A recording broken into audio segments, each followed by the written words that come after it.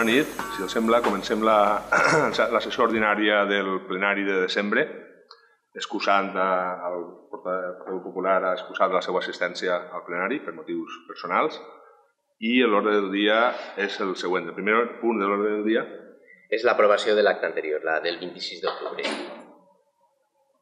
Si algun regidor o alguna regidora té alguna esmena que fer al, a l'acte, doncs passem a votació. Vots a favor d'aprovar l'acte del 26 d'octubre. Per tant, queda aprovada. El següent punt de l'ordre del dia és donar compte de les resolucions d'alcaldia, de la 263 a la 333. Queda assabentada la corporació de, de les resolucions. El punt número 3 de l'ordre del dia és el pressupost municipal de l'exercici eh, 2018. Eh, la Comissió d'Hisenda, de 21 de desembre, amb el vot favorable del grup Compromís i l'abstenció del PP, PSOE i la CUP, eh, acordar dictaminar-ho favorable. Bé, en aquest cas, els pressupostos que portem per a l'anualitat de 2018, eh, comentar-los, com ja van fer en les comissions informatives, que els pressupostos acomplixen l'objectiu d'estabilitat pressupostària, acomplixen l'objectiu de la regla de despesa i acomplixen l'objectiu del límit de deute públic estan informats d'aquesta manera per, per l'informe de la intervenció. També recordar-los que en intervenció eh, s'informa desfavorablement en allò referent al capítol 1 de personal perquè s'incrementa per damunt del permès. El permès, recordem que és un 1,5%, que és el que se preveu que pugi el, el PIB, respecte a l'exercici anterior. S'ha de dir, però, que si recorden, el 2017 també s'incrementava més del permès, ja que el permès era el 1%, i el pressupost que vam aprovar s'incrementava en un 56%, però no es va fer cap reparo en aquell cas a l'informe d'intervenció. Es faig un resum més o menys de lo que és el, els pressupostos que portem a, a plenari per al 2018, que és la proposta de l'equip de govern. Com en altres anys, els pressupostos municipals estan condicionats per quatre factors, la llei d'estabilitat pressupostària i la regla de la despesa, les previsions que es fan segons com s'ha comportat el, el pressupost durant aquesta anualitat, les noves necessitats que s'han detectat i els pressupostos participatius. Pel que fa a l'estabilitat pressupostària i la regla de despesa, com ja els he comentat, eh, complim la llei de l'estabilitat que obliga totes les entitats locals a tenir el 2018 un dèficit del 0%. Les corporacions locals han de mantenir una posició d'equilibri o de superàvit. També complim la regla de la despesa que marca la variació màxima dels pressupostos de, de despesa respecte al de l'exercici anterior.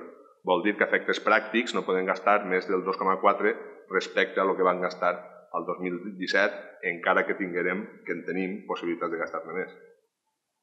Les previsions és un resum de tot el que són els pressupostos a partir del comportament de les despeses del 2017. Aquelles partides que no posen ni més ni menys és que s'han incrementat. Les que estan especificades és que s'han incrementat o s'han minorat. Pel que fa a reparació i conservació de vies públiques, parcs i jardins, és eh, menor que l'any passat pel que fa a instal·lacions esportives i edificis municipals és superior, han pujat la reparació i conservació de maquinària i instal·lacions, reduïm reparació i conservació de vehicles de serveis municipals, el que pugem és el combustible d'aquests vehicles, però baixem el que és calefacció dels col·legis. Servei grua també baixa, pugem les activitats extraescolars, la jornada, la jornada contínua, els tallers de Nadal, de Pasqua i d'estiu, la programació d'activitats culturals també puja, normalització lingüística, Servei de recollida d'animals, que vam quedar curts perquè, com saben, n'hi ha molta, molta recollida d'animals. Eh, el que és la MASMA, la MAGMA i subvencions associacions culturals també pugen. Aportació a comissió de festes també puja. Subvencions a institucions socials, igualtat, baixa en les dietes de càrrecs i de personal, baixa en publicacions. Pel que fa a noves necessitats i actuacions pendents, de cara al 2018, tenim el que és la cobertura pel que fa al personal, que això és important perquè afecta, és, és la, el motiu pel qual puja tant el capítol 1, cobertura d'una plaça de policia local, dotació d'una plaça administratiu, subrogació del personal de neteja i les beques salari, que recorden que l'any passat estaven en el capítol eh, 2, trobo que era, i ara al posar-se en el capítol de personal també fa que puja aquesta partida. Remuneració metàl·lic d'una part de les extres de la policia local, més d'un 10%, van crear un conveni o en una reunió amb el cos de la policia local en anar pujant a poc a poc fins a arribar al 50% eh, el que és pagar les extres en diners en comptes de per, per dies lliures. En aquest cas, l'any passat van pujar un 30, en, En, per al 2018 se proposa el 40, fins a arribar al 2019, si no passa res, el 50. 50% metàl·lic, 50% dies lliure. N'hi ha rèntings de vehicles per a serveis municipals, material de neteja i contractació de neteja de cristalls. Esta, esta partida és nova, també és conseqüència de la municipalització del, del servei. Escoles esportives també puja perquè hi ha escoles de nova creació i major número de grups de les existents. Manteniment de l'il·luminat públic, perquè s'inclou de la sella. Pla municipal de prevenció d'incendis forestals. Desenvolupament del pla estratègic de desenvolupament agrícola i sostenible de Pedreguer Zona acampada, que és l'únic que arrosseguem d'edicions anteriors participatius, però que realment són 5.000 euros perquè és per a fer el projecte.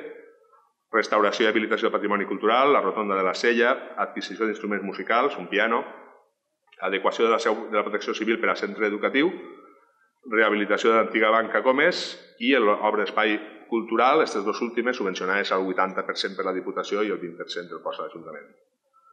Pressupostos participatius, finalment, si consulten la web de Pedreguer Participa, veuran que els que han entrat són els set primers eh, propostes, que eren el circuit per a passejar o córrer. La segona proposta l'hem dividit en dos perquè era un paviment, era eh, reparar camins i carrers. Hem posat per una part els camins rurals i per altra part el paviment de vies públiques. Esta tercera l'hem posat en el pressupost amb 100 euros per a fer, com vam fer en guany, d'esta finançar-la amb el romanent eh, per a despeses financerament sostenibles. El camí del Calvari i la Capella, tanca de seguretat als porgens, zones recreatives, un tractor agrícola per a desbrossar i una trituradora agrícola. Això puja a 260.000 euros, que són 210.000, que estan consignats al 100%, i 50.000 ampliables per anar a càrrec, en realitat no són 50.000 ampliables, són 100 euros ampliables per anar a càrrec del romanent de la liquidació del pressupost. Es posa 100 ampliables i quan estigui el romanent s'apuja al 50. Les dades pures i dures dels pressupostos, així estan en ingressos, significa són 8.807.000 euros, que són un 9,27 més que el 2017 pel que fa a l'Ajuntament, i recordem que també en este mateix plenari s'ha d'aprovar inicialment, igual que el, el municipal, eh, perquè després que estar 15 dies en exposició per a que estigui aprovat del tot, 125.500 per a l'escoleta infantil La Glorieta. Puja un 9,27 respecte a l'any passat, tant en ingressos com en despeses. Algunes dades a remarcar sobre ingressos. El pressupost general de 2018 es presenta equilibrat, com hem comentat. Els impostos directes, com sempre, representen el 42,60 i entre ells cal destacar l'IBI, que és el principal finançament, ja que representa el 34,62 del total del pressupost. recordant que tot i això redueix l'ingrés uns 100.000 euros per aquest concepte perquè baixa en urbana el rebut a un 4% per cada rebut. El capítol 3 experimenta un increment del 0 de 9, no havent cap ingrés nou i mantenint la previsió de l'anterior. A diferència de l'anterior, sí que hem posat el fons de cooperació de la Generalitat, els 101.000 euros, perquè sí que s'assegura que estan, de la Diputació no, Tenim més ingressos en el capítol 7 perquè corresponen a les subvencions de la Diputació per les obres de l'espai cultural i la rehabilitació de la banca com és. Està previst que s'executen per l'Ajuntament, mentre que en 2017 estava previst que les executarà la Diputació. Cal destacar el fet, com fem des del 2012, que no n'hi ha previstos ingressos per via préstec des del 2012. I, com hem comentat, es pretén fer front a despeses financerament sostenibles amb la liquidació del pressupost del 2017.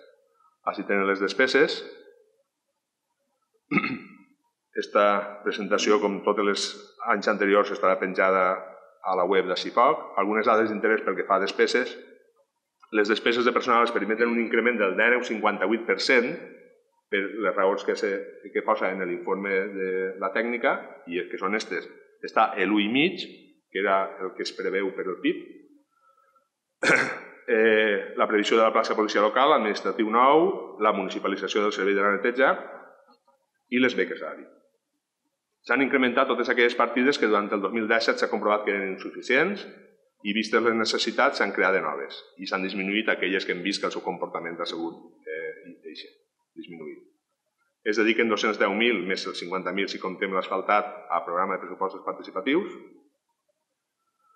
les despeses en béns i serveis, que és el capítol 2, han disminuït respecte a l'any passat un 0,62, a, pesar de, a pesar de que hi ha increments com les partides de les escoles esportives, l'enllumenat públic, les activitats extraescolars, i això és a conseqüència de la municipalització del servei de neteja d'edificis, ja que el personal passa al capítol 1. Per això, a pesar d'aixòs increments, este ha disminuït un 0,62. Estos dos capítols és interessant perquè són les despeses financeres, el que deguem als bancs, que és el capítol 3, que són els interessos, i les amortitzacions, que és el capítol 9, segueixen baixant respecte als anys anteriors, un 40,47 en el primer cas i un 51,10 en el segon, a conseqüència d'anar amortitzant i de no contractar nous préstecs, així com per el tipus d'interès que està baixant. El capítol 4 disminueix en un 24,30 al pressupostar-se les beques salari al capítol 1 les despeses financerament sostenibles que s'escometran amb la liquidació del pressupost 2017 és l'asfaltar de vies públiques i també l'adaptació de l'espai jove per a retent, que també està, si es fixen en l'informe, està a 100 euros perquè també és financerament sostenibles i també s'escometran amb aquests diners. I el capítol 7 és la permuta que torna a aparèixer de l'escorjador, que segurament sí que serà favorable l'informe per part del protectorado. Està reflectit, així tenen el que són els ingressos, i les despeses. Veuen el que diguem tots els anys que en uns pressupostos normals, entre cometes, seguim estant estrenyits per, per la llei Montoro, però normal és que aquests tres, tres formatges siguin una tercera part cada una dels pressupostos, que és el capítol 1 de personal, el 2 i el 6 d'inversions, que així sí que és interessant remarcar que este capítol torna a tindre més o menys la mateixa quantitat pressupostada que tenia el 2011, que és 2.475.000 torna a dir que aquests 2.475.000 no són tots de fons propis, perquè fons propis són 750 més o menys, sinó que estan la subvenció de la Diputació, així, i per això està en, són els 2 milions i mig. I aquesta és la proposta de pressupostos. Des de l'equip de govern sí que, per això que hem dit, perquè l'informe d'intervenció nomena que és complim les, tot el que és la regla de SPS i tot això, i demanem el vot favorable per part dels grups. També recordar-los, no, hem, no hem rebut cap proposta, així com l'any passat vam rebre de dos grups propostes i un altre no, en guany no hem rebut cap a, a, fins ahir a migdia, que és com va arribar la proposta, una sèrie de propostes per part del, del grup socialista. Sí que m'agrada recordar que eh, este tipus de propostes presentades amb, amb esta poca antelació és difícil de, de portar-les si es vol aprovar el pressupost en temps i forma, perquè fa que s'endarrerisca almenys un mes si, si s'aprovaren les propostes, però torna a recordar, que ho faig tots els anys, que no és precís el d'esperar a que estigui l'esborrany, perquè les propostes es poden fer en el minut 1 després d'haver-se aprovat els pressupostos este tot l'any, i a més a més també recorde perquè el model no canvia, no canvia gaire d'un any per l'altre, sinó almenys els grups que han tingut responsabilitat de govern ho saben, que són sempre el mateix model i que les propostes que es poden fer eh, no es necessita que estiga l'esborrany per, per, a, per a fer-les.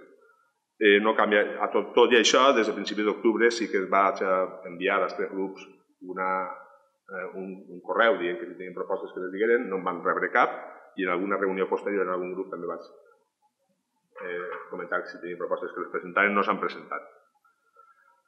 Estos són els pressupostos. Si algun portaveu d'algun grup vol...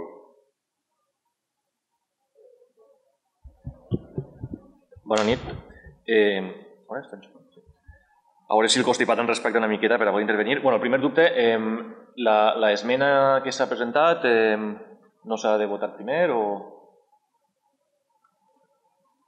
El grup socialista el vol que passi a, pues, eh, si, se, pues, si vols raonar el, el sentit del vot a l'esmena. No, no s'ha de presentar? D'incloure-la, sí, sí. Però el sentit del... Ah, bueno, de raó. el grup socialista presenta l'esmena, com la tenien tots, perquè l'ha enviat a tots, Bueno, mm, bona nit a tots. Eh, des del PSPB eh, portem al plenari aquesta esmena als pressupostos de l'exercici 2018 amb l'objectiu de concretar aspectes que des del nostre punt de vista deurien anar inclosos i perfectament delimitats. Algunes de les propostes que vos hem passat, eh, com ara el condicionament de la pista d'atletisme, que sé que és de les més, la partida econòmica més important, eh, la incluïm perquè, a part d'estar eh, votada en els pressupostos participatius, considerem que val la pena l'esforç eh, degut a que és una reivindicació fa molts anys que està en, en un estat millorable i que, bueno, que en algun moment es tindrà que fer. Eh, dins dels punts que hem passat, doncs, eh, podem destacar la millora de la transparència, que l'any passat ja van, eh, en les propostes que van passar l'equip de govern ja vam incluir eh, que es millorara la transparència, van dir que estava incluït en altres partides, però bueno, ha passat un any i no hem vist una, una resposta o una eficàcia a aquesta transparència. Reforçar la neteja del poble, que sobretot en algunes zones, com ara l'extraradi, la zona de l'avinguda, pues, eh, per excrements de gossos, falta papereres, etc etc necessita neteja. Eh, un altre aspecte important és el rastre, que si anem els diumenges a visitar-lo veiem que s'ha reduït molt l'afluència de, de paraetes i també d'afluència de gent, per tant, ja que i a més en aquests pressupostos els ingressos estan pressupostats a la baixa també. Per tant, eh, considerem que n'hi ha que fer alguna cosa. Mm, I per aquests motius sol·licitem la inclusió d'aquesta esmena en els pressupostos del 2018. Evidentment, sabem que en un dia d'antelació pues, eh, és molt complicat eh, repensar i reestudiar aquesta, aquesta esmena. Però, clar, nosaltres també hem tingut, tots hem tingut la proposta dels pressupostos eh, el 18 de desembre. També hem tingut poc temps per estudiar i profunditzar els pressupostos que presentem avui. Per això volem votar, eh, volem que es vote la inclusió d'aquesta esmena en el, en el plenari d'avui. Els grups municipals volen raonar el vot a la, a la inclusió o no de l'esmena als pressupostos? Eh, bé, la posició de la CUP, nosaltres no estem en contra de les propostes que ha fet el, el grup del, del socialista, però veiem una sèrie de problemes. La primera i principal és que no estan valorades. Clar, trobem que això és imprescindible per a poder-ho introduir en els pressupostos. Al no valorar-les, entre altres coses, eh, clar, no sabem si això afecta altres partides o no i en quina mesura. Eh, algunes propostes de les que es fan sembla que ja s'estan executant i algunes de les propostes eh, no està clar tampoc que necessitem partida i que pot ser no haurien d'estar dins, de, dins de la, dels pressupostos. Però d'això la CUP ens abstindrem.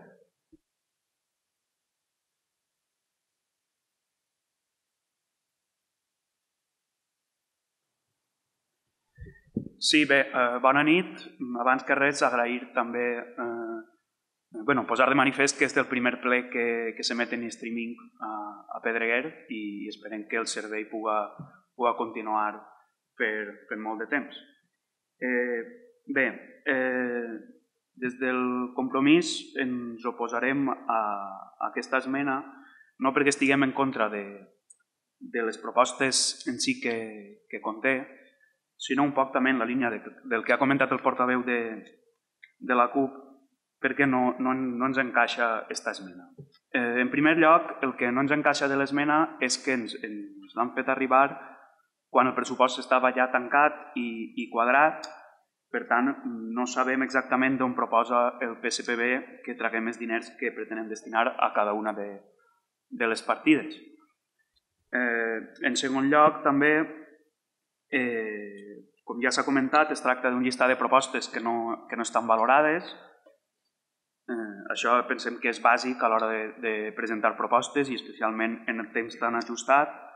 Simplement el fet d'estudiar-les de, ja requeririen de necessàriament l'aprovació dels comptes, ja que després s'haguera d'endarrerir tot el procés per a demanar els informes d'estabilitat, etc. En aquest sentit també Eh, sabem si incloure aquestes propostes permetria complir l'equilibri pressupostari i la regla de despesa? Pues, clar, suposa que això no està avalat ni està informat per els serveis tècnics municipals i, per tant, incloure-ho podria significar desajustar totalment el, el pressupost. I, en, finalment, eh, en tercer lloc, tampoc ens encaixa la, la sèrie de propostes perquè denoten, pensem, un greu desconeixement de l'actuació d'aquest Ajuntament i, i inclús del funcionament de, de l'administració local en, en termes més generals. Perquè, per exemple, algunes de les propostes, com s'ha dit també, estan ja fent-se, com és, per, per exemple, l'espai per, a, per a gossos, que en les comissions informatives de la setmana passada es va informar que s'estava eh, ja ballant la zona. Eh, la campanya de sensibilització també per als propietaris de gossos també s'està realitzant i està previst incrementar-la Eh, altres eh, partides es poden fer sense, sense consignació econòmica específica, com és la millora de, de l'enllumenat, els canvis en el carril bici, o inclús hi ha algunes propostes que ens sap greu dir-ho però pensem que no tenen cap sentit, perquè, per exemple, eh, respecte del pla general, el pla general ja ha estat sotmès a informació pública i a participació ciutadana a través de l'agenda 21, precisament quan la regidoria d'urbanisme l'ocupava el Partit Socialista. Per tant, no entenem exactament què es vol dir amb aquest punt i en alguna, una sèrie de propostes que no, que no ens acaben de, de quadrar. Dit això, eh, evidentment estem oberts a, a incorporar aquestes propostes, les que siguin incorporables per la via de, de la realització directa, com el que s'ha comentat de les millors en l'illuminat o els canvis en el carril bici.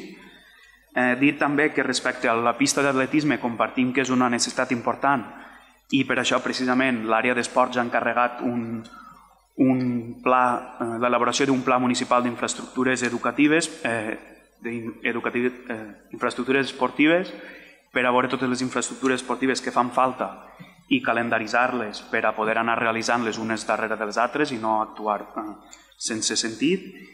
I eh, finalment eh, sí que, eh, per acabar de comentar algun punt, el punt de la, de la transparència, eh, és veritat que, que no s'ha anat tot lo ràpid que es voldria, i que es va mantindre una reunió eh, l'estiu passat, em pareix, per a començar a tratar del reglament de participació. Esperem ara reprendre, reprendre la qüestió i poder tancar-la dins d'un. Per tant, mm, votarem en contra de l'esmena perquè pensem que incloure el pressupost no té massa sentit en el benentès que estem disposats a tota aquesta sèrie de propostes, les que siguin raonables i es puguen incorporar al pressupost en el dia a dia, dur-les a terme sense problema. Moltes gràcies. Si algun portaveu vol fer ús del segon torn, Guillermo. Passem a votació. Vots a favor d'incloure l'esmena del grup socialista als pressupostos de 2018? Vots en contra? Abstencions? Per tant, no s'inclou l'esmena proposada i ara sí també passem a raonar el vot al pressupost municipal 2018 i el de l'escoleta. Bé, eh, sí. La CUP van dir que entrarem a l'Ajuntament no per a fer una simple gestió de la institució, sinó amb la intenció de canviar-ho tot, de transformar la realitat. Són conscients que això implica un llarg camí, molta feina i de la representació que té cadascú este plenari. Però amb els resultats que es van obtenir a les eleccions de 2015, amb una majoria suposadament d'esquerres i progressista al municipi, creiem que es podrien aconseguir o com a mínim iniciar el camí cap a diversos objectius, arribant a acords concrets. I amb aquest ànim vam encarar els primers pressupostos que vam debatre, els de l'any 2016, quan se'ns van acceptar la majoria de propostes que vam fer i vam tenir clar votar a favor dels mateixos amb una clara convicció constructiva i com una, com una forma d'estendre la mà al govern municipal. Gràcies a les nostres propostes a aquell pressupost es va elaborar l'estudi per a les municipalitzacions, que va ser l'inici per a la municipalització del servei de la neteja dels edificis públics.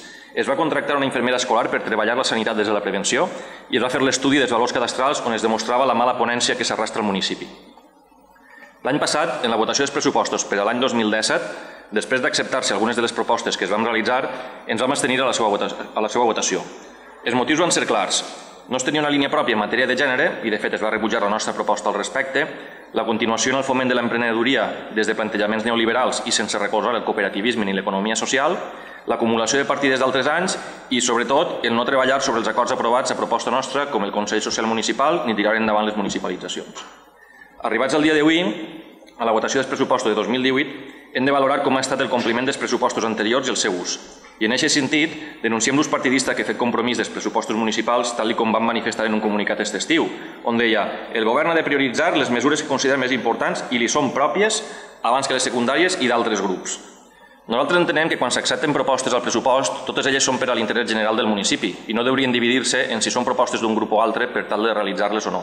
Per exemple, la proposta de fer l'estudi d'eficiència energètica, on la idea era saber quines actuacions realitzar als edificis municipals i incloure-les en aquest pressupost per a reduir el consum d'energia, siguem més eficients i, per tant, reduint el cost i l'emissió de gasos, no l'han considerat important o no l'han realitzada sols perquè va ser una proposta nostra. I l'estudi pel desplegament de la fibra òptica a nivell municipal, per no parlar de l'estudi agrícola, que a pesar d'estar recordant els plenaris d'abril, maig i juny, s'han esperat vostès tant que hem arribat al debat dels pressupostos de 2018 sense tindre les actuacions que s'han de fer resultants d'aquest estudi i damunt assignant-ho ha dit com a contracte menor quan la nostra proposta era de fer-ho públic i que es pogueren presentar diverses propostes.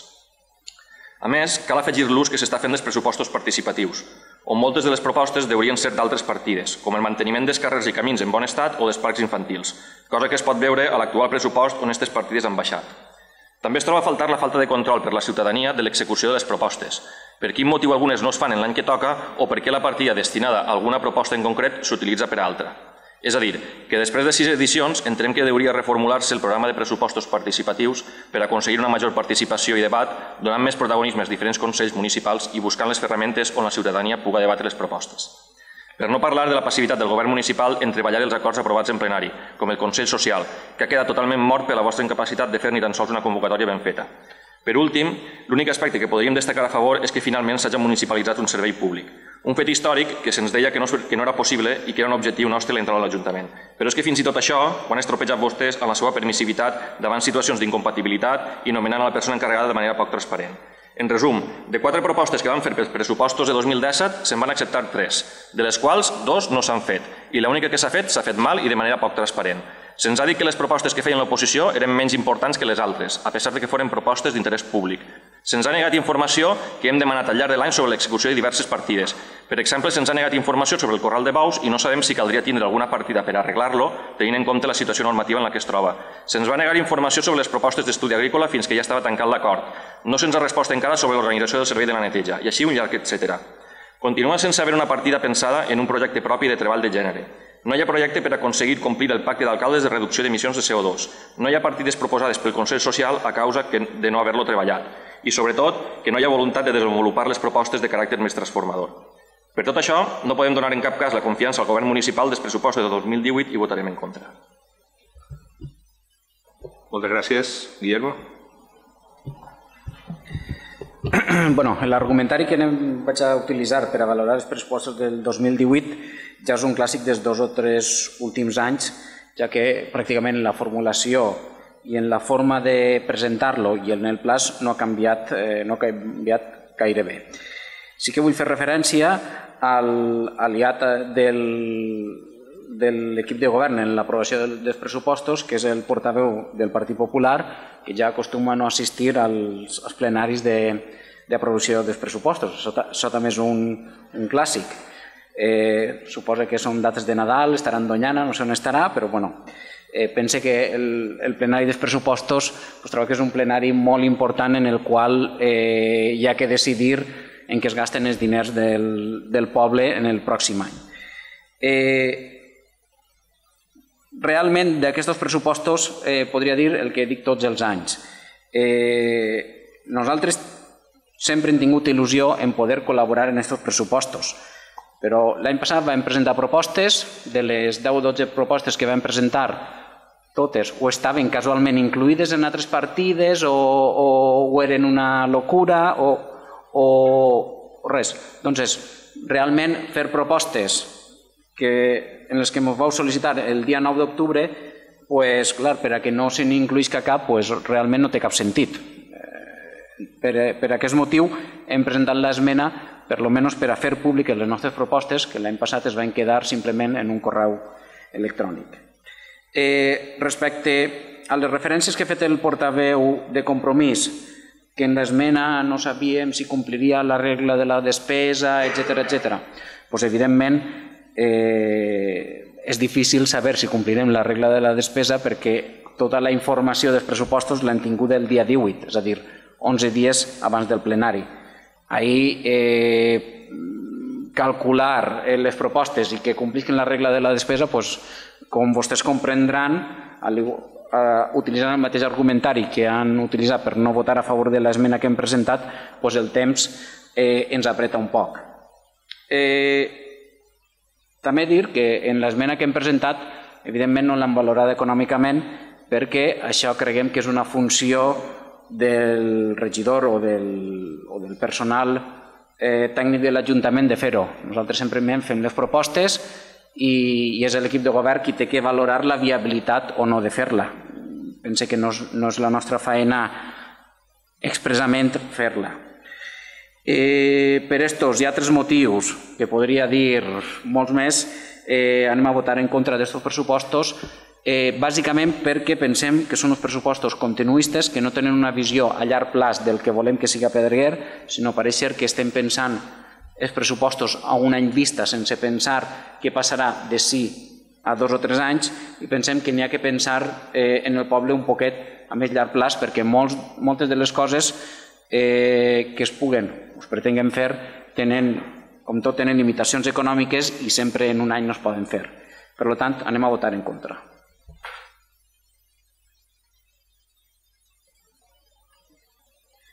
Bona nit a tots.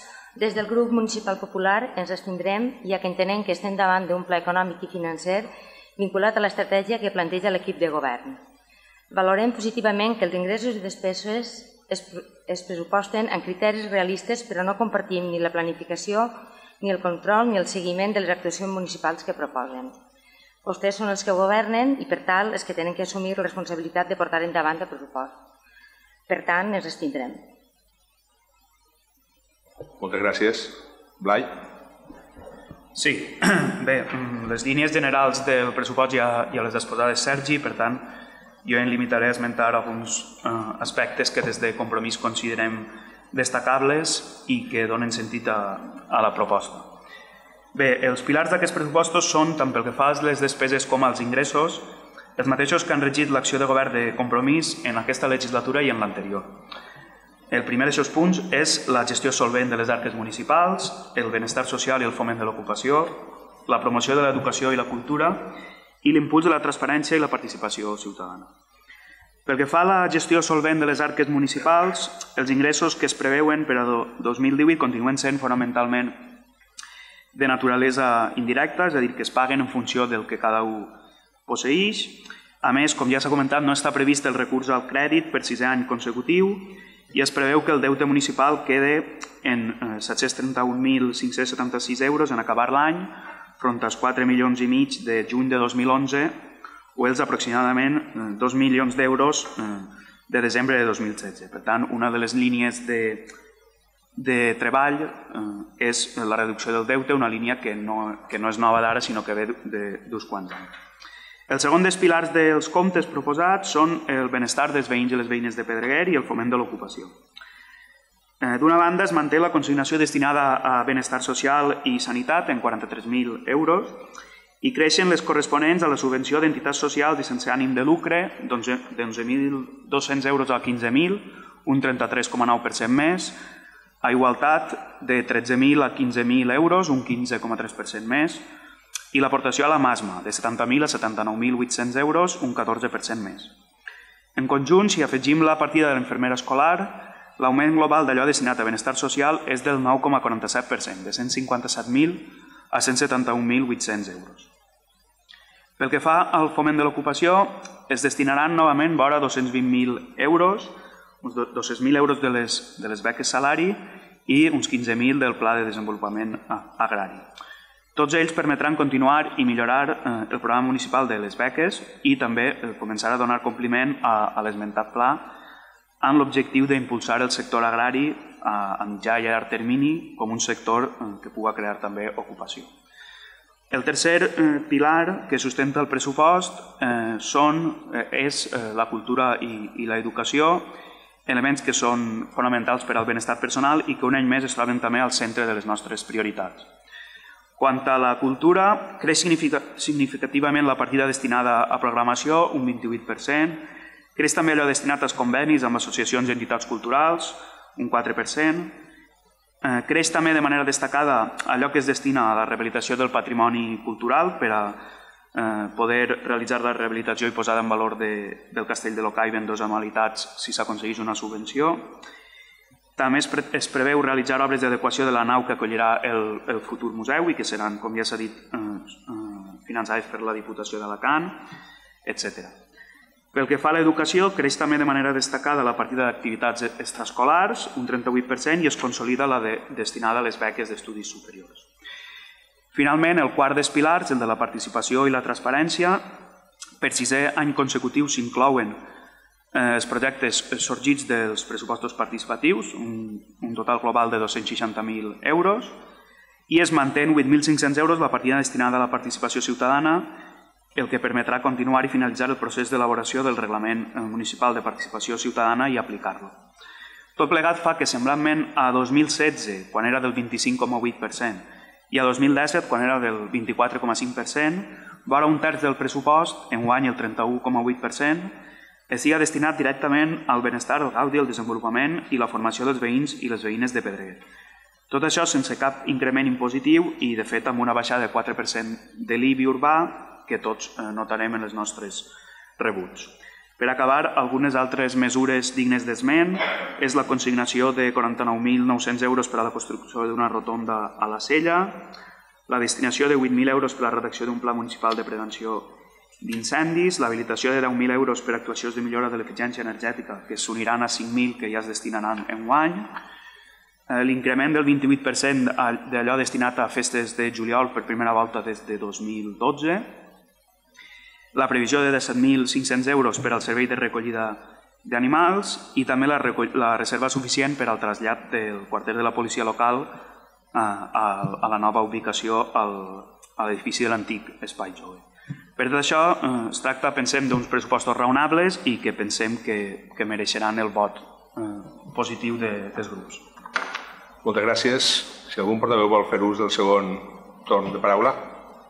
David. Sí, no, breument, fer esment, com ja s'ha dit abans, que el plenari on s'aproven els pressupostos és dels més importants de l'any i en cap dels tres que hem fet aquesta legislatura està present el portaveu del Partit Popular i amb la seva no participació fa que automàticament els pressupostos s'aproven sols amb els vots del govern. Moltes gràcies. Guillermo? Eh, Yolanda? Blai? Sí. Bé, eh, m'agradaria ara eh, respondre un poc a les afirmacions que s'han fet en les intervencions dels grups.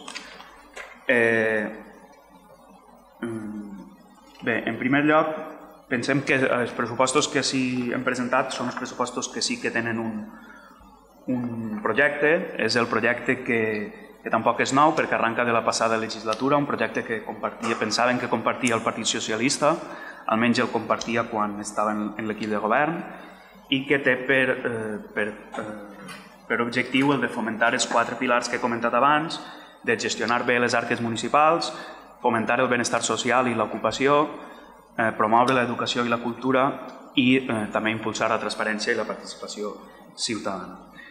Eh, dit això, eh, adreçant-me en relació al que ha comentat el portaveu del PSPB, eh, és una llàstima que el, que el grup no, no, haja, no doni el suport al, als pressupostos, no ho ha fet ja en els dos anys anteriors i pensem que les raons també que s'han que, que, que donat i es donaven ja no, no, no es donen en aquest cas i sí que haurien de comptar en el vot favorable, perquè per exemple podem eh, destacar que les partides socials han recuperat ja i han sobrepassat els nivells d'abans de, de, de 2011.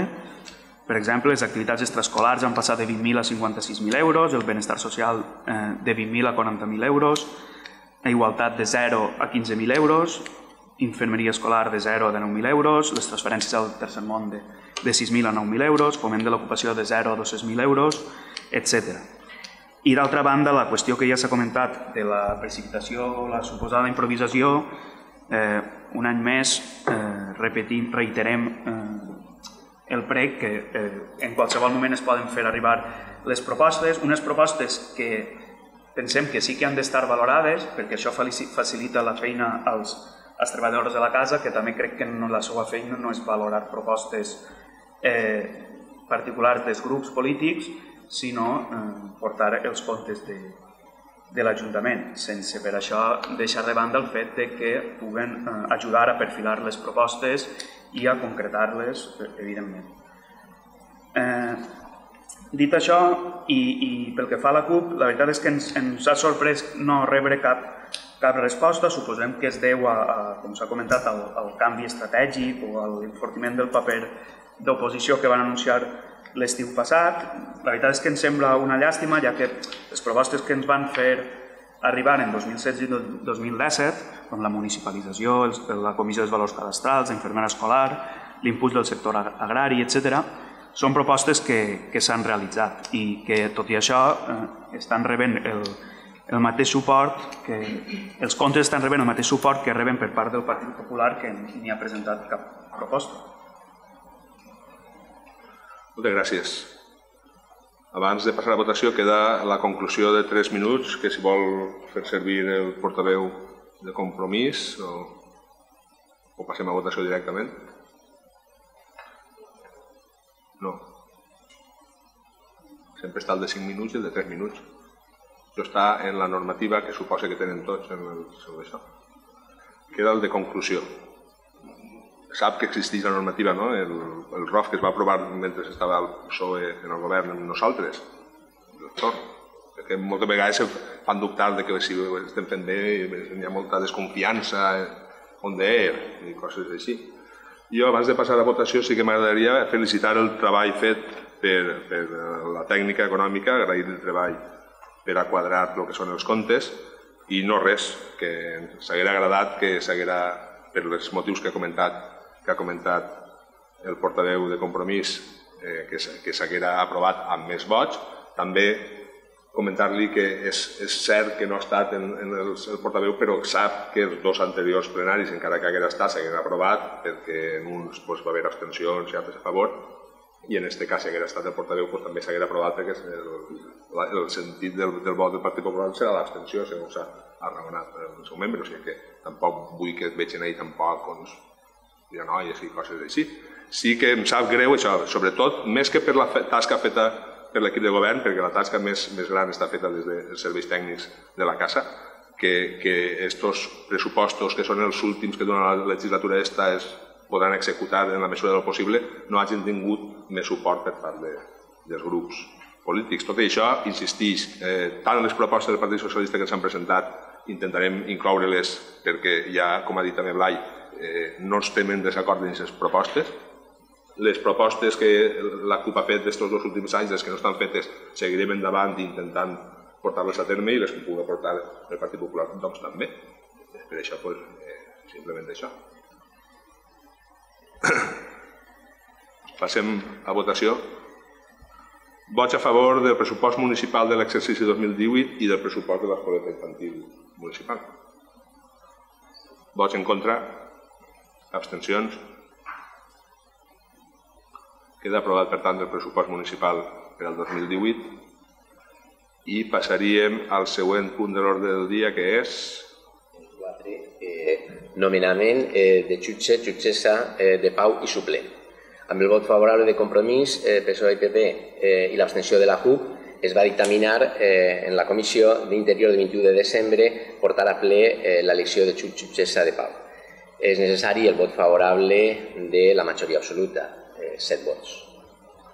Bé, en aquest cas, eh, tant des de l'equip de govern no hi havia cap proposta eh, fixa d'un jutge, altres, en altres ocasions es presenta una proposta des de l'equip de govern, tampoc ha hagut proposta per part de grups, des de l'alcaldia considerem que els dos candidats són bons per a, per a exercir el, el càrrec de, de jutge o jutgessa de pau. També considerem que eh, Maria Rosa, que és la que presenta també la seva candidatura, ha fet la seva tasca d'una manera bé i per tant no n'hi ha cap queixa respecte a la seva, a la seva candidatura. Doncs, si els sembla bé, ha, la possibilitat seria, des de l'equip de govern, el proposar la, eh, nomenament de jutgessa de pau a Maria Rosa i com a suplent Lluís eh, Fornés passaríem a votar això, o si no sembla bé això, passaríem a votar persona per persona. Es pot fer amb alçar, és la proposta de l'alcaldia fer amb alçar, si no tenen cap inconvenient. Uh, sí. Sí, sí. No, que jo, jo no estaré present a la votació perquè el meu fill és un dels, dels que s'ha presentat. No?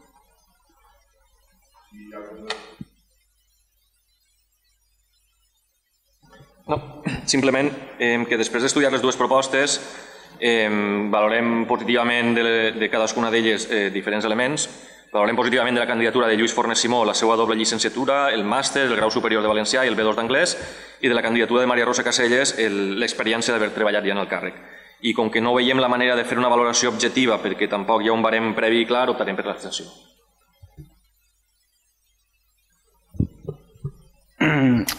Eh, resulta molt difícil valorar eh, dos currículums, difícil i, i dur, i, i a més fer-ho públicament. Eh, és una cosa que per a, mi, per a nosaltres eh, pot requerir molt de respecte, sobretot a, a les persones.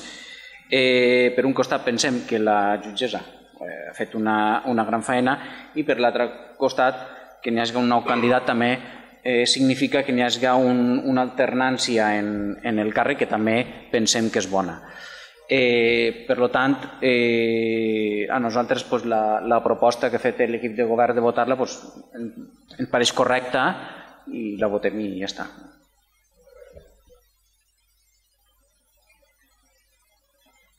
El nostre grup pensa que si l'actual jutgessa Maria Rosa vol continuar no hi ha cap raó per no recolzar-la i així ha sigut com s'ha fet durant tant a, així en l'Ajuntament.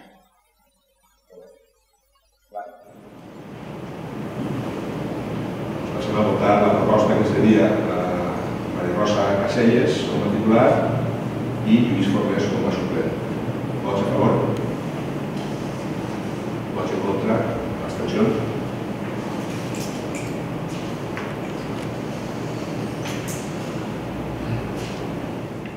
Doncs l'enhorabona a la jutgessa i l'enhorabona al suplent. El següent punt de l'ordre del dia, n'hi ha que avisar a... hasta ahí. és la declaració de Vic de l'Escaldà. La Comissió d'Interior de 21 de desembre, per unanimitat, acordar dictaminar favorablement la proposta. Si la regidora de Turisme vol fer lectura del que és curteta de la declaració, acord de declaració de Vic material. Comentar abans de que hi ha hagut, estan votant els pobles tant de la comarca Marina Alta com d'altres comarques com Ròtova, per exemple, estan, estan aprovats durant este mes, Benissa, Xàbia, avui crec que anava al Verger Dènia i la portem a nosaltres a la. Bé, bona nit. Passe a llegir. Eh, L'Ajuntament de Pedreguer manifesta el seu suport a la declaració de l'Escaldà com bé d'interès cultural del patrimoni valencià de la Conselleria de Cultura de la Generalitat Valenciana basat en, en les següents disposicions legals. Article 49, 1, 5è de l'Estatut d'Autonomia de la Comunitat Valenciana estableix la competència exclusiva de la Generalitat en matèria de patrimoni històric, artístic, monumental, arquitectònic, arqueològic i científic. Article 26.2 de la Llei 4 barra 1998 de 11 de juny de la Generalitat del Patrimoni Cultural Valencià disposa que la declaració d'un bé d'interès cultural es farà mitjançant decret del Consell, a proposta de la Conselleria competent en matèria de cultura.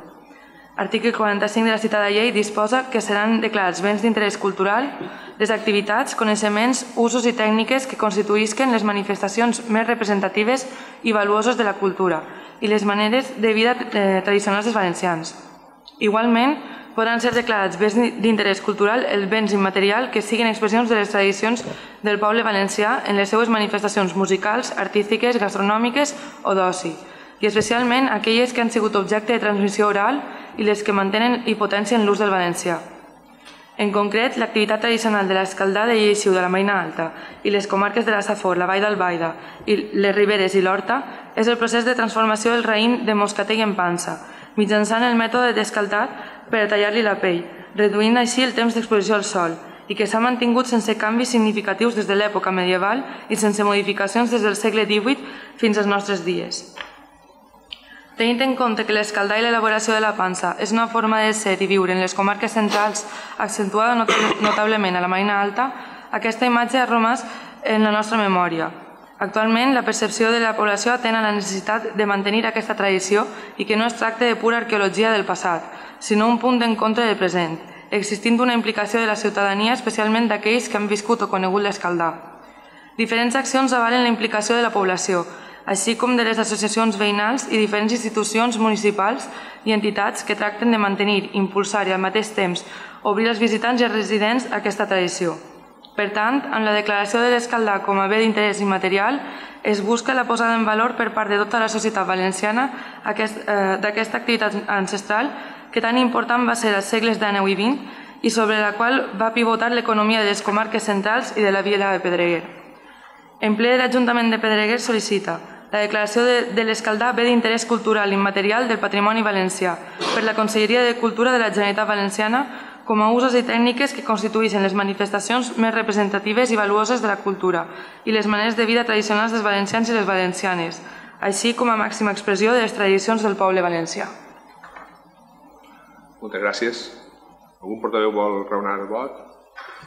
Bé, simplement, eh, bueno, la CUP votarem a favor de la declaració. Simplement volem afegir la petició al govern municipal que miri la forma de fomentar la, la conservació de riu Raus i altres elements arquitectònics relacionats amb l'elaboració de la pansa, com per exemple algunes propostes que es van fer a nivell d'impostos o altres que puguen haver. Moltes gràcies. Guillermo?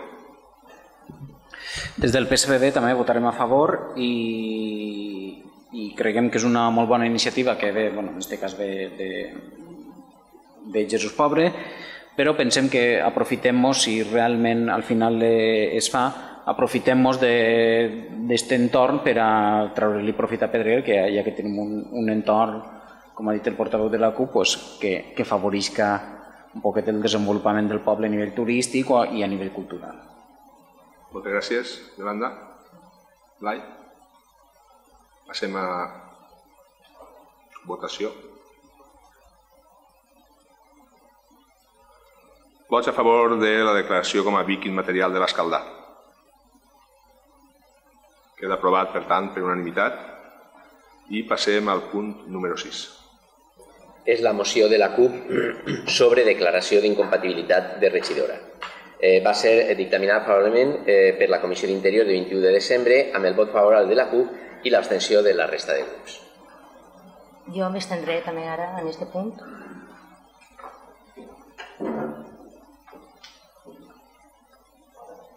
Sí, gràcies. Bé, eh, des del passat 1 de desembre, en la regió del, del grup municipal del Partit Popular es troba en la situació de ser també treballadora municipal. Situació d'incompatibilitat en la que la regidora hauria d'escollir quin dels dos llocs prefereix. Entenem que aquest fet hauria d'haver estat resolt pel propi grup popular o per part del govern municipal de compromís. Però, per sorpresa nostra, cap part ha mogut res al respecte i per això hem demanat un informe al secretari. El llegim donat que és bàsicament on, s'explica la qüestió. D'ordre del senyor alcalde i a sol·licitud del portaveu del grup municipal de la CUP, de conformitat amb el que estableix l'article 3 del Real Decret 1174-87, emet el següent informe sobre la compatibilitat o incompatibilitat de la regidora Yolanda Miralles. El passat 1 de desembre, previ acord del ple de l'Ajuntament de 28 de setembre de 2017, es va municipalitzar el servei de neteja d'edificis municipals, subrogant-se en els drets i obligacions laborals i de seguretat social del personal de l'empresa que prestava el servei. Entre les treballadores de l'empresa es troba la regidora Yolanda Miralles Costa, en contracte clau 501 de duració determinada a temps parcial. Legislació reguladora i jurisprudència. L'article 178 de la Llei Orgànica del Règim Electoral General estableix las causas de inelegibilidad a que se refiere el artículo anterior lo son también de incompatibilidad con la condición de concejal. Son también incompatibles los directores de servicios, funcionarios o restante personal activo del respectivo ayuntamiento y de las entidades y establecimientos dependientes de él. L'article 10 del ROF estableix Los concejales y diputados deberán observar en todo momento las normas sobre incompatibilidad y deberán poner en conocimiento de la corporación cualquier hecho que pueda constituir causa de la misma. Producida una causa de incompatibilidad y declarada la misma por el Pleno corporativo, el afectado por tal declaración deberá optar, en el plazo de los 10 días siguientes a aquel en que reciba la notificación de su incompatibilidad, entre la renuncia a la condición de concejal o diputado o el abandono de la situación que dé origen a la referida incompatibilidad. Transcurrido el plazo señalado en el número anterior, sin haberse ejercitado la opción, se entenderá que el afectado ha renunciado a su puesto de concejal o diputado, debiendo declararse por el Pleno Corporativo la vacante correspondiente y poner el hecho en conocimiento de la Administración Electoral a los efectos previstos en los artículos 182 y 208 LO 5.1985 de 19 de junio del régimen electoral general. La sentència del Tribunal Suprem de 26 d'abril de 2002 que considera que ha de en compte que, como ha señalado el Tribunal Constitucional Desde su primera doctrina, el artículo 23.2c consagra el derecho de acceso a los cargos públicos como un derecho de configuración legal, pero que comprende y forma parte de su contenido el de la permanencia en ellos. Y así este alto tribunal ha señalado que las causas de incompatibilidad establecidas por la LOREC, en tanto en cuanto son excepciones de criterios generales de participación en tareas de carácter público, han de ser interpretadas de modo restringido, en el bien entendido de que con el régimen de incompatibilidades se trata de garantizar la objetividad, imparcialidad, eficacia y transparencia en el desempeño del cargo o función pública de que se trata. Por consiguiente, no cabe una interpretación extensiva de las incompatibilidades, cuya interpretación y precisión ha de estar presidida por la indicada finalidad de preservar a la función pública de una influencia desviada del interés público, por la posible contaminación o incidencia en la toma de decisiones que puede representar una eventual colisión con intereses extraños a los de la ciudadanía a que ha de servir el cargo que se ostenta o por la incidencia en dichas decisiones de intereses privados o particulares. La La Junta Electoral Central, amb acord de 30 de juny de 2011, estableix que no le corresponde decidir sobre la incompatibilidad de los miembros de las corporaciones locales y que tanto la declaración de la incompatibilidad con el cargo de concejal, si procede, como la toma de conocimiento de la opción que el concejal ha afectado por una situación de incompatibilidad son competencia del propio Pleno del Ayuntamiento del que el afectado forme parte, conforme al artículo 10 del ROF. Conclusions. En un sentit estricte, existiria incompatibilitat entre el lloc de treball de netejadora i el càrrec de regidora, el fallo de la sentència citada, 22 d'abril de 2002, no és, no és aplicable al cas present, ja que es tracta d'un lloc de direcció, però ha que tindre en compte que en el, en el fonament de dret primer de la dita sentència indica que la interpretació ha de ser restringida, en el sentit que amb el règim d'incompatibilitats es tracta de garantir l'objectivitat, imparcialitat, eficàcia i transparència en l'exercici del càrrec o funció pública de què es tracta i és l'òrgan competent, el ple de l'Ajuntament, el que deu apreciar si es produeix incompatibilitat. Amb això, i com que se'ns va indicar que l'alcalde o algun grup municipal havia de ser qui ho portara a plenari i se'ns va comunicar que l'alcalde no tenia intenció de fer-ho, ho hem fet nosaltres. La moció és senzilla i diu el següent. Vist l'informe elaborat pel secretari interventor de l'Ajuntament de Pedreguer, anomenat Informe Compatibilitat Regidora, de data 11 del 12 de 2017, que adjuntem a esta moció, sobre la situació de la regidora del grup municipal del Partit Popular, Yolanda Miralles Costa, que al mateix temps és treballadora municipal, proposem al ple de l'Ajuntament l'adopció del següent acord. 1. Declarar la incompatibilitat de la condició de regidora i treballadora municipal en què es troba, tal com indica l'informe del secretari interventor i l'article 178 de la LOREC. Pot o no cal? Bé, el punt 178 de la LOREC és molt clar.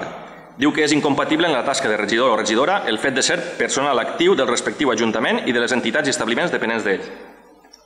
La sentència del Tribunal Suprem de 26 d'abril de 2002 diu que la interpretació ha de ser restringida, en el sentit que no hi cap una interpretació extensiva de les incompatibilitats i que ha d'estar presidida per la finalitat de preservar a la funció pública d'una influència desviada de l'interès públic, és a dir, que no hi caben interpretacions àmplies de la llei en aquest aspecte. Els diversos posicionaments de la Junta Electoral Central no deixen lloc a dubtes i deixen molt clar que situacions com aquesta són incompatibles. Per exemple, el seu acord 513 barra 2011 diu que Es doctrina de esta Junta que la incompatibilidad se aplica a las personas contratadas por la corporación local, si es este el que le abona su retribución. Y mes endavant diu, la temporalidad de la contratación en el caso planteado no impide el surgimiento de la incompatibilidad, siendo lo determinante la incorporación a la plantilla del ayuntamiento y que sea este quien abone la retribución. L'únic lloc de l'informe del secretari on es diu, on es posiciona sobre la incompatibilitat o no, diu clarament que és incompatible. Amb tot això, tenint en compte que aquesta llei busca l'ètica i la transparència a les institucions per part dels càrrecs públics i aquest és un dels objectius de la CUP a l'Ajuntament, votarem a favor d'aquesta moció.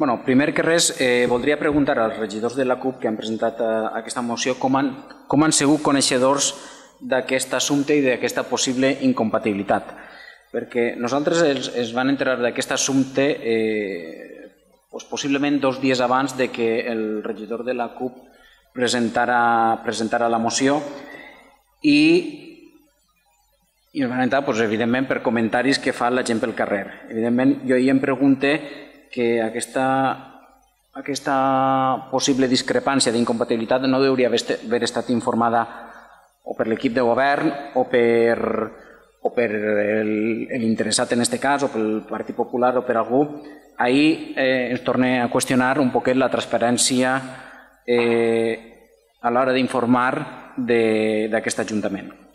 Respecte a l'incompatibilitat de la regidora del PP, eh, desconeixem totalment la relació laboral de la regidora, ja que la seva, la seva professió és un assumpte personal i propi i el qual respectem i el qual no anem a posar en dubte en cap moment la seva professionalitat en el seu lloc de treball i respectem també el seu dret a tindre un treball.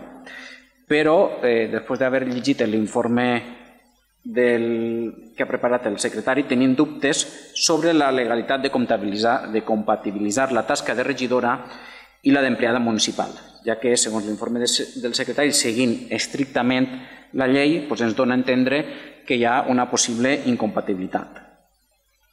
Nosaltres no anem a donar suport a algo en el que existisca una incertesa jurídica, com és en aquest cas, i que ens provoque o ens puga provocar possibles conseqüències judicials possibles Per tant, eh, i per no ser injustos eh, davant, perquè estem, entre comilles, decidint sobre un lloc de treball d'una persona, per tant, eh, m'agradaria proposar al plenari eh, deixar l'assumpte sobre la taula i demanar més informes jurídics a altres òrgans col·legiats per tal de que poguérem eh, tindre una visió més concreta des del punt de vista jurídic sobre, sobre, sobre aquest tema.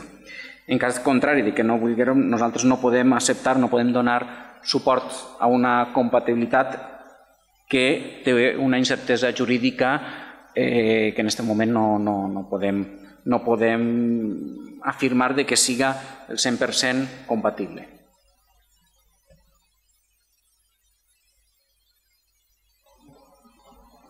Sí, bona nit. Des del grup popular de Pedreguer no recolzarem la moció que presenta la CUP. En primer lloc, perquè les funcions de netejadora d'edificis municipals són totalment compatibles en el càrrec de regidora. Pensem que ocupar un lloc de netejadora, de netejadora municipal, com ho fa la senyora Miralles, no qüestiona l'objectivitat, imparcialitat, eficàcia i transparència de l'exercici del càrrec de regidora. En segon lloc, perquè la senyora Miralles no ocupa cap càrrec amb responsabilitat executiva. No és part de l'equip de govern, ni de la Junta de Govern, ni està facultada per a prendre cap decisió que pogueren influir i o modificar les seues funcions laborals. En tercer lloc, perquè el cas de la senyora Miralles haguera de participar com a regidora en algun assumpte vinculat al lloc laboral que ocupa s'abstindria i no participaria tal com ho ve fins, fins, fins ara. En quart i últim lloc, haurem de veure què diuen els tribunals que són els que apliquen les lleis. I el que està clar és que estos afirmen que les causes d'incompatibilitat establides per la llei orgànica del règim electoral general en tant són excepcions o almenys de desviacions de criteris generals de participació en taxes de caràcter públic, han de ser interpretades de modo restringit. És el que diuen els tribunals i, per tant, entenem que és la interpretació de la norma. Pel conseqüent, no cap una interpretació excessiva de les incompatibilitats. I en el cas de la senyora Miralles, el treball de netejadora no afecta el càrrec de regidora, ja que, com hem dit, no té responsabilitats executives que puguen afectar la funció pública per una contaminació o incidència en la presa de decisions. Moltes gràcies. Moltes gràcies. Blai. Sí, eh, bé. Eh, si bé l'article 178.2 eh, B de la Llei Orgànica 5 eh, 1985 de 19 de juny de règim electoral general diu que seran inelegibles i per tant incompatibles en l'exercici d'una regidoria. Els directors de serveis, funcionaris o la resta de personal actiu del respectiu ajuntament i de les entitats eh, i establiments dependents d'aquest, també és cert que la Sala Tercera del Tribunal Suprem va declarar en la sentència dictada el 26 d'abril de 2012, que ja s'ha comentat, que no s'ha de fer una interpretació estricta d'aquestes clàusules eh, d'incompatibilitat perquè el que es pretén és garantir, eh, amb aquest règim d'incompatibilitats, el que es pretén és garantir els principis d'objectivitat, eficàcia i transparència en el desenvolupament del càrrec de regidor o, o regidora, és a dir, que la persona en qüestió no pugui rebre eh, influències externes que puguen condicionar o contaminar la seva presa de, de decisions. Eh, eh, considerem que, que bé, eh, com, com, com assenyala l'informe, correspon al ple, per tant, entrar a debatre els marges, els marges d'apreciació d'esta disposició legal. Com s'ha dit també, si la regidora Yolanda Miralles formara part de, de l'equip de govern, eh, seria evident que la incompatibilitat seria evident, ja que les decisions a prendre sí que es podrien veure afectades per influències externes que farien dubtar de la seva objectivitat. Però no, no és el cas. Aquest equip de govern és el primer que assumeix i practica els principis d'objectivitat i transparència i no dubtaria, si fos el cas, de denunciar qualsevol infracció en, en esta línia. Entenem, per tant, que l'objectivitat, eficàcia i transparència en el desenvolupament del càrrec de regidora per part de Yolanda Miralles queda sobrada, sobradament garantida per, eh, per, una, per una part perquè no forma, forma part de l'equip de govern, sinó que està en, en l'oposició i per tant no té la capacitat de prendre decisions de, de cap tipus sobre eh, ni econòmiques ni relatives als drets i a deures dels treballadors. En segon lloc, al tractar-se d'un servei eh, del que s'ha fet càrrec recentment eh, l'Ajuntament, eh, això suposa que les seves condicions laborals estiguin sotmeses al control de, dels membres de la mesa de l'Ajuntament, tant sindicals com de l'administració local, i finalment, eh, i precisament per el fet de ser regidora de, de l'Ajuntament, eh, està més sotmesa que la resta dels treballadors a, al control de transparència que pot exercir qualsevol altre regidor. Per això, i seguint eh, apreciant que d'acord com eh, s'assenyala en l'informe, eh, considerem que s'ha de donar una, una interpretació àmplia al, a la incompatibilitat, considerem que en aquesta interpretació àmplia no n'hi ha incompatibilitat i per això eh, votarem en contra de, de la moció. Interpretació restringida. El, abans del segon torn sí que m'agradaria comentar que com ha arribat al, al, al tema de la incompatibilitat és perquè des del grup de la CUP tenien dubtes, van demanar l'informe a secretaria, la secretaria se va fer l'informe i perquè des de l'equip de govern no veien que n'hi havia incompatibilitat, per això no van demanar l'informe, es va demanar per part de la CUP eh, i en aquest sentit se va enterar. El segon torn de... Sí, eh, a veure, s'han dit moltes coses. Respecte al que diu el PSOE, que ens preguntava eh, quan havíem sabut eh, l'existència d'aquest article, bueno, nosaltres la sabíem abans d'entrar a l'Ajuntament. No sabem, per això donàvem pel fet que els altres grups municipals també la coneixien. Eh, la incertesa jurídica no sabem on està, l'informe és clar, diu que és incompatible. Per suposat també respectem la tasca de la treballadora i això no ho posem en dubte, és un tema al marge de tot això. Sobre el que diu el PP, eh, en primer lloc, mm, que tant ha parlat de la defensa de la legalitat els darrers mesos, quan li interessa no vol que s'apliqui la legalitat. En què quedem?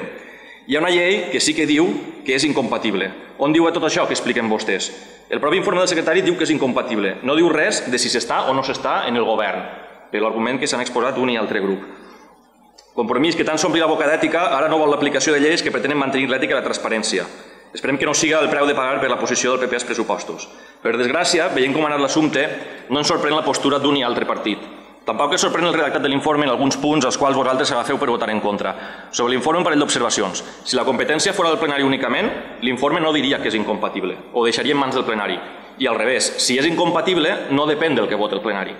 A partir d'ahir, uns i altres podeu redactar les frases com vulgueu i interpretar-les com vulgueu per justificar el vostre vot, però continua sent una situació d'incompatibilitat. I si no, vos animem a demanar o fer un informe que diga que en cas d'aprovar el plenari la situació és compatible i acorde la llei. No el veureu, i no el veureu per la senzilla raó que això no és legal. Per últim, aquestes pràctiques no ajuden gens a eliminar el mantra de que tots els polítics són uns lladres o uns aprofitats que sols es mouen pel seu propi interès. Més bé, els segueixen alimentant. Nosaltres ens hem situat en el bàndol de denunciar precisament aquestes situacions. Per contra, compromís amb aquesta postura ha deixat clar on es situa. Guillermo. jo per últim, bueno, insistir que en la proposta que he fet antes de deixar damunt la taula i demanar més informes jurídics per intentar ser el més just possible, ja que eh, reitere que n'hi ha una incertesa jurídica, evidentment hi ha una sentència del tribunal, però sentències n'hi ha moltes i segur que si ens parem a buscar n'hi haurà sentències que diuen una cosa i sentències que diuen l'altra. Per tant, eh, nosaltres no anem a votar eh, una cosa en la qual eh, hi hagi una possible eh, incertesa jurídica o que, la, o, que, o que puga vindre algú i que ens puga dir que nosaltres hem votat una cosa que no és de, totalment legal. Per tant, insistix que convendria demanar més informes jurídics a òrgans col·legiats. Vale. Bé, considerem que s'hauria de votar de la proposta del Partit Socialista de deixar sobre la taula el, el punt per demanar més informes, exactament a quins òrgans col·legiats hauríem de consultar, a quins òrgans col·legiats han de demanar aquests informes. Des del compromís eh, em referia, quan dia lo de les conspiranoies aquelles, eh, em referia a això precisament que ha dit vostè, que, i, i, i vull que consti en acte, que siga un papeleo per a que aproven els pressupostos. Torna a insistir que sense això s'han aprovat dos vegades i el grup popular s'ha abstingut les tres vegades els pressupostos. És que és, està molt bé tot el que és la grandiloquència revolucionària, el tremendisme i la desconfiança per bandera, perquè no, tota la CUP no, però és que el portaveu de la CUP d'este ajuntament té la desconfiança per bandera, que s'estranyava de que els panys estigueren oberts en aquest ajuntament el primer dia que va aparèixer, ho, va preguntar, està en Espanyo verd. Aleshores, em sorprèn que, que, que insinue aquestes coses, perquè no tots els polítics són iguals, menys mal, i ja no em referisc a en quins extrems. Però que, la desconfiança per bandera no va a cap de lloc, perquè l'únic que pot pensar la gent és que si este no es fia de ningú, és molt poc de fiar. Per tant, això sí que m'agradaria insistir-ho. Els, els pressupostos es voten doncs perquè hem aconseguit que es voten, perquè hi ha hagut sempre grups que no han votat en contra. Vinga, que estigui així, simplement això. Això la proposta és votar, si es deixa el punt sobre la taula conforme ha proposat el, el grup socialista, si, si es proposta se, se passa a votació. I en aquest cas, eh, si pues, se vota deixar sobre la taula la moció presentada per la CUP, vots a favor de deixar sobre la taula... Ah, sobre què? Sobre deixar sobre la taula? Home, eh, com vostè prefereix. Que vol argumentar-la sobre deixar-la sobre la taula, argumentem-la. Bé, en primer lloc, sobre el que ha dit el senyor alcalde... Això ja no és argumentar eh, deixar-lo sobre la taula, això és argumentar eh, per al·lusió. Em deixa, em deixa parlar? Depèn, no és el seu torn, senyor alcalde. Per, per argumentar si perquè es deixa sobre la taula. No, no és el seu torn. Eh, Home, dirigís la, la sembla que tinga, sembla que tinga eh, malixieta de que no estan vostès fent una defensa correcta de l'ètica. Sobre el que proposa el Partit eh, Socialista, perfecte, remarcar que eh, davant un informe que senyala la incompatibilitat en una situació i vostès no fan cas d'aquest informe i decideixen posposar-lo, aquesta eh, situació té un nom i vostès saben com es diu. L'informe no diu això que diu vostè. Eh, Guillermo? Jo crec que ha argumentat ja perquè vol votar-lo, no? Des del PP. Blai? Sí, eh, bé, eh, ja s'ha comentat la qüestió, eh, no crec que, que valga la pena entrar a debatre eh, les afirmacions que ha fet el portaveu de la CUP. En aquest sentit, per la nostra part, mm, no tenim cap eh, inconvenient, si es creu que fa falta demanar més informes o més informacions, en, en abstindre-nos a la proposta del grup socialista perquè, eh, evidentment, eh, si eh, si en un moment es va, es va proposar a, a la senyora Yolanda Miralles per a realitzar este, esta tasca va ser confiant i, i, i siguent coneixedors de la seva capacitat professional per a dur a terme la, la tasca i, eh, per tant, si això genera malestar, dubtes o problemes, eh, no tenim cap problema en intentar aclarir-los fins al punt que, que faci falta. En aquest sentit, nosaltres eh, no entenem que el text diga eh, el, que, el que assenyala el portaveu de la CUP, en, en el sentit que eh, les afirmacions que es fan que el portaveu de la CUP eh, considera taxatives estan fetes en un temps verbal que és el temps condicional que serveix per a eh, determinades condicions. I és una cosa que ensenyen en, en primària. I dit això, eh, hi ha una diferència d'interpretació en aquest punt, en el sentit de que, eh, atenent-nos a la sentència assenyalada de, d'abril de, de 2012, es considera que, que no s'ha de fer una interpretació restrictiva, el portaveu de la CUP considera que sí, mm, pensem que és una qüestió de diferència d'opinions, però bé, com que pensem que s'han de resoldre els dubtes, ens abstindrem. Doncs, de maneres, eh, m'agradaria insistir, perquè conforme, perquè eh, l'ús del, del llenguatge no és mai innocent, i vostè també ho sap, això no s'ensenya en primer de primària perquè ja s'ensenya més endavant, de facultats i en reunions assembleàries i coses d'estes. Quan diu aquesta moció, aquesta moció que diu municipal en què es troba, tal i com indica l'informe del secretari interventor, no posa paraules de la boca del senyor interventor que no, que no ha dit. Això no ho diu l'informe. Això no ho diu l'informe. No. L'informe diu que és en el sentit estricte incompatible, com diu la LOREG, però, com diu el Tribunal Constitucional, també diu que no s'ha de fer de manera... Però això és mentira. Està posant vostè paraules en la boca del secretari interventor que no ha dit. La SPR està dient que no s'ha de fer de mode restrictiu, quan això diu que s'ha de fer de mode restrictiu i que no s'ha de fer de mode extensiu, com està dient el senyor. Ha dit ampli, equivocat, era restringit, com posa ell. Tornem a llegir-ho. Tornem a llegir-ho. Això és el que farem si s'endavant. No, jo informes diguen el que tenen que fer, això ho farà vostè, jo no ho faig mai. Que em facin un informe diguen el que té que dir. Eh? Veus com no pense com vostè? Eh? Sí, per al·lusions al que ha dit el portaveu del compromís o no. Què ha dit, senyor? Vostè? Sí, eh, bé, m'agradaria dir que el que... Anem a veure. Sí, en comptes de has dit ampli. Sí, el que volia dir era que eh, la, l'aplicació de la incompatibilitat no s'ha d'aplicar de manera estricta, sinó que s'ha segons la, entenem nosaltres que diu la sentència, és que s'ha d'aplicar de manera eh, més àmplia.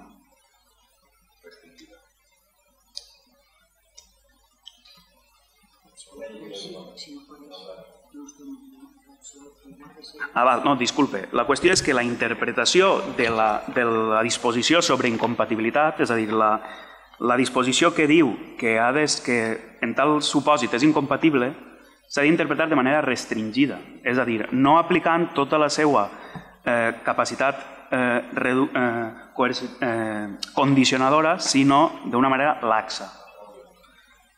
El fall de la sentència no és aplicable al cas present, ja que es tracta d'un lloc directiu. Eh, la sentència diu que la interpretació, la interpretació de les normes de la interpretació, la interpretació de les normes d'incompatibilitat ha de ser restringida.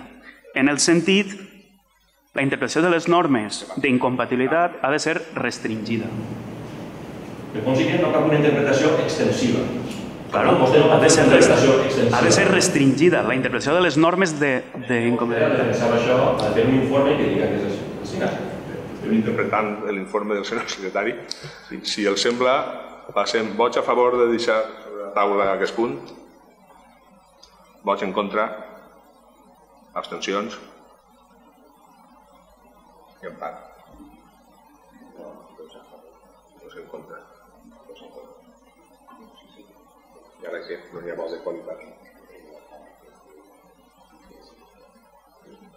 Se torna a votar. N'hi ha... Eh... Però ara m'estim jo soles. Eh, votaria a favor i vosaltres abstenir. Si, si no s'ha aprovat, com que es pot votar? No s'ha aprovat i n'hi ha part, dos a dos. És la interpretació restringida o àmplia, aquesta? Vots a favor de deixar-ho sobre la taula? Vots en contra? Abstencions?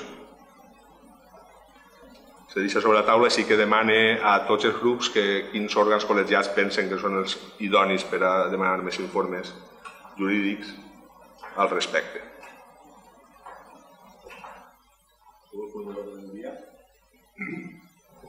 És informes d'alcaldia. Bé, informes d'alcaldia eh, com fem habitualment des de eh, que així no va manar o va proposar la Comissió d'Igualtat per a posar nom i cognom a les dones assassinades, que és un, una xacra que en compte d'anar a menys va a més. Posarem des de l'últim plenari les dones que han estat assassinades a, a este país. El 1 de novembre, Lilibet Hernández Rodríguez, de 28 anys, d'Arona, Tenerife, deixa òrfena a una xiqueta menor d'edat. El mateix dia, Lisbeth GT, de 16 anys, Madrid, sense dades suficients, xifra no oficial.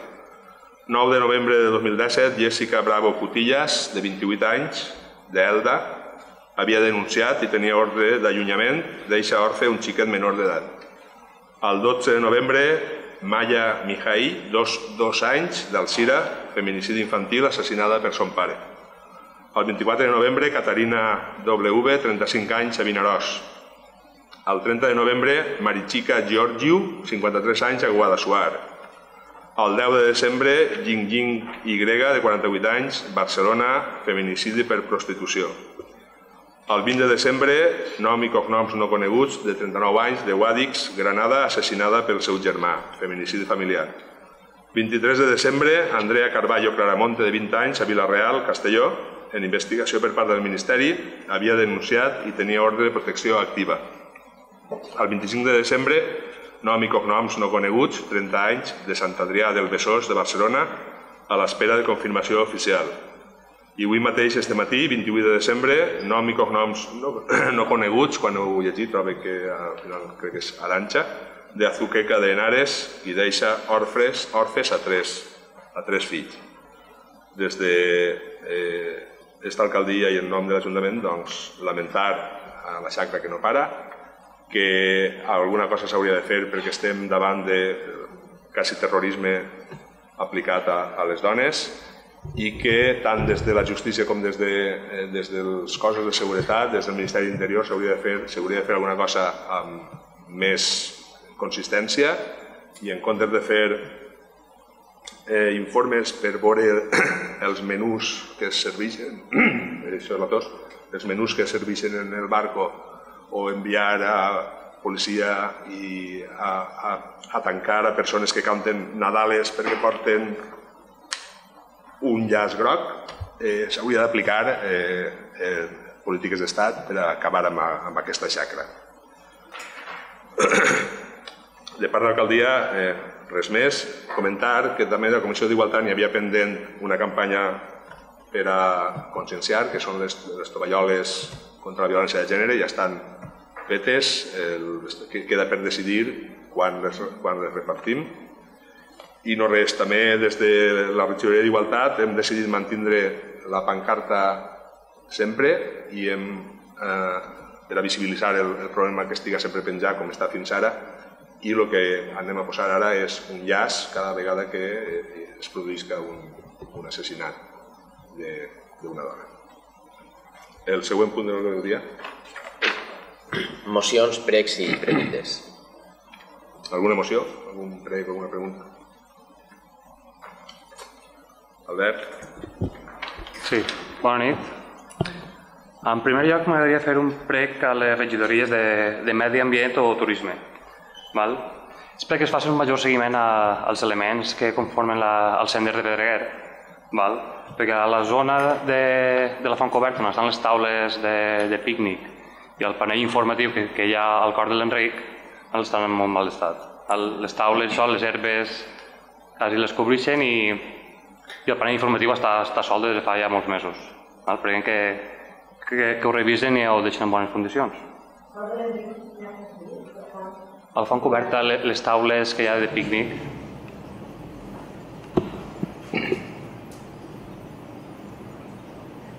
Va. Una pregunta és, a la Junta de Govern del passat 26 d'octubre, l'equip de govern va acordar adquirir un cotxe nou de la policia local. En algun moment es va plantejar adquirir algun cotxe elèctric? No, encara que hagués estat bona idea, però no. No va valorar altres municipis de, de fet, que els pressupostos que ens fan arribar, ens fan arribar des de l'inspecció de, de policia són els pressupostos i no ho vam, no ho vam valorar. Va. Una altra pregunta a la regidoria de, de Medi Ambient és si des de l'Ajuntament s'ha realitzat alguna tipus d'acció informativa sobre la plaga de la xilella a, a Pedreguer, ja que estem inclosos dins de la zona de risc i després si s'ha fet algun tipus d'informació a cara als agricultors o s'ha convocat el Consell Agrari local per informar?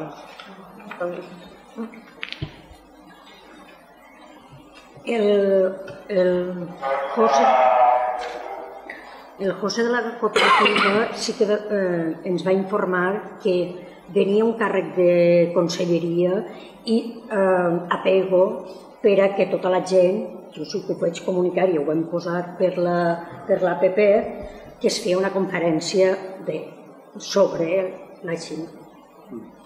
Això és el que... I que no calia, no sé si farà falta convocar alguna conferència concretament pel poble, que s'hauria de parlar. No sé, hauran de valorar-ho. Dic perquè l'Estel és una zona de risc, perquè està catalogat com a zona de risc de, l'afectat de la Xilella i el resta de municipis estan fent jornades d'explicar de, en què consisteix aquesta plaga i quines solucions hi ha. Ja.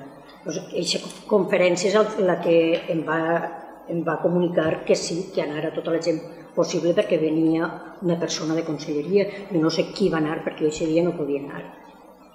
Ara, si fa falta, doncs en podem convocar una per a Pedreguer, concretament. Podem parlar. Molt bé.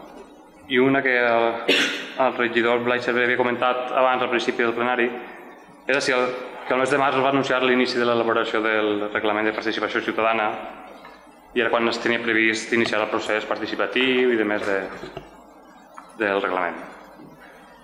Sí, sí, eh, eh, eh, és veritat que la qüestió va quedar un poc en, en, en pausa, també perquè tenim el pressupost just en, en, per a la participació en aquest cas, ara que, en, que començarà l'any nou i ja disposem de més recursos. Eh, la idea és mm, només començar l'any nou eh, re, reconvocar la, la reunió, la Junta de Portaveus que van convocar per a parlar el tema i intentar anar, anar avançant i anar aprovant. Pel que fa al tema dels pressupostos participatius, encara no tenim dates, però en principi ens agradaria que la primera fase començara el mes de març, potser, i intentar eh, d'esta manera eh, comptant un mes per cada fase que igual abans de l'estiu puguen estar ja totes les propostes eh, valorades i sotmetre-les a votació a setembre. Un parell. Bé, un prec a l'alcalde, en primer lloc, eh, que es deixi les burles a casa respecte a l'oposició, que així que ha amagat informació en diverses ocasions ha sigut vostè. En segon lloc, una pregunta a la Vicky. Li hem preguntat en dues ocasions per correu electrònic i altra via registre d'entrada per l'organització del servei de neteja. Seguim sense rebre que, resposta. Que no se'l sap, no se veu, no se sent bé. Li hem preguntat en, en dues ocasions per correu electrònic i altra via registre d'entrada per l'organització del servei de neteja, seguint sense rebre resposta. En qualsevol cas, en el seu informe per les comissions informatives diu que hem decidit per la, que la supervisió de la feina estigui a càrrec de la Yolanda per la senzilla raó de que és resolutiva, és a dir, sap prendre decisions amb rapidesa i determinació quan és necessari i resoldre els problemes puntuals que van donant-se en el dia a dia. La pregunta és com s'ha comparat la capacitat resolutiva d'ella amb la de les altres treballadores.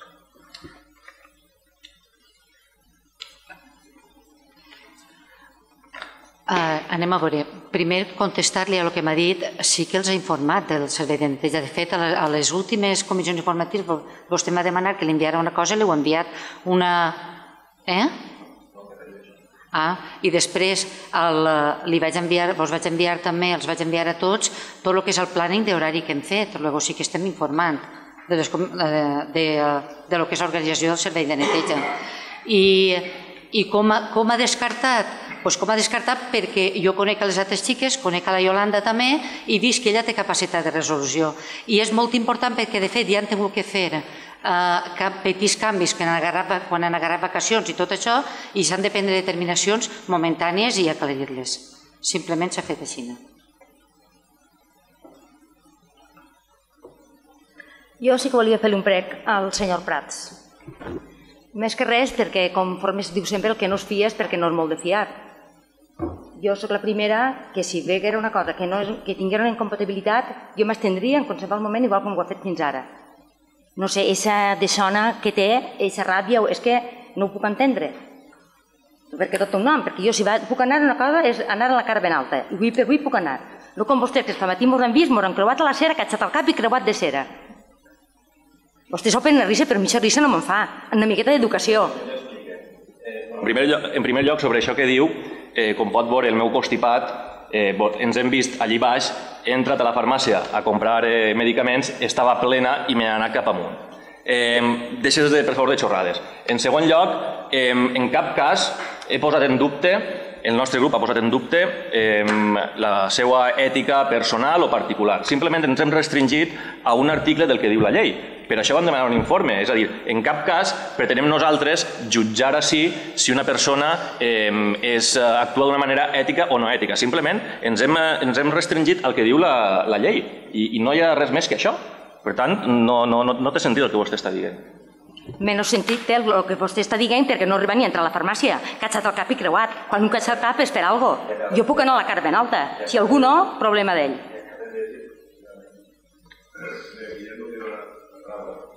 Eh, sí, eh, una, una pregunta. En els pressupostos eh, va incluir la partida sobre el Paio 15. Eh, com fa molts anys que està, preguntar eh, si hi ha alguna novetat, sabem quan, quan s'iniciaran les obres o si hi ha alguna novetat al, al respecte. I per últim un prec, eh, un prec que, és, que s'arregle per fi el, el contenidor soterrat el, de la plaça La Formiga, la, la, la barana. Bé, jo suposo que pren nota Vicky sobre lo del contenidor i lo del 15 encara el, el que es posa als pressupostos és la mateixa quantitat que l'any passat, si s'ha fixat, és per a que no desquadre el que és la, la despesa i més o menys siga. Però s'han posat aquesta quantitat no perquè està ja prevista la, el començament de les obres, sinó per a quadrar pressupostos. Tan bon punt està pendent de l'exposició, l'exposició pública està, estan les al·legacions contestades, i ara està pendent de que se contesten les al·legacions. Encara no n'hi no ha previst començament d'obres encara.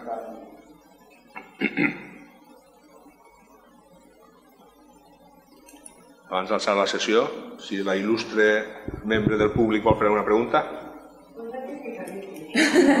Diga.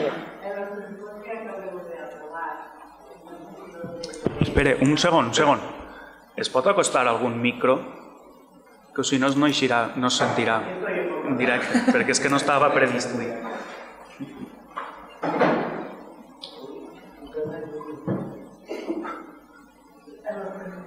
Xufant, xufant. Vale. Ja? En els pressupostos que habéis aprovat, si no lo entès mal, n'hi ha una ajuda al tercer mundo o algo así. 9.000 euros. ¿Eh? 9.000 euros. Volia saber mm, cómo se gestiona eso, si lo gestioneu directament des de l'Ajuntament. I un altre prec també, si puc, és, ja que estem agermanats en el Sàhara, sempre s'ha fet projectes per al Sàhara, no sé si ara es fa o no es fa. La meva pregunta és, com es gestiona mm, l'ajuda esa, si feu directament o, o què? Això és de benestar social, la, la partida del tercer món on va? Podem mirar i contestar. Què? Que això ho mirarem i, i ho contestarem. Porta del benestar social, la partida de, de ajuda al tercer món. Ah, vale. bueno, gràcies.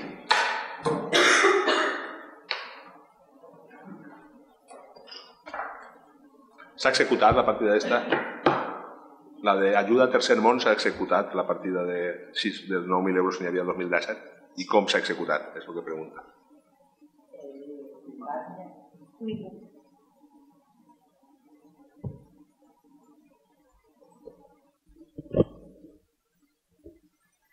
Eh, pues, eh, va directament eh, a, es, le, en la partida, el que va per al tercer món eh, va directament a les associacions.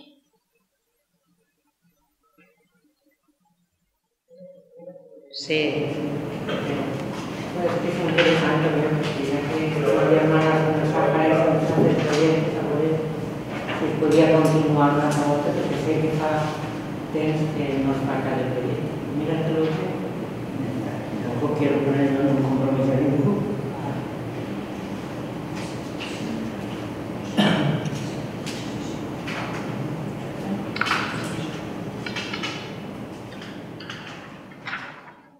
Bé, està buscant el desglosse. A veure.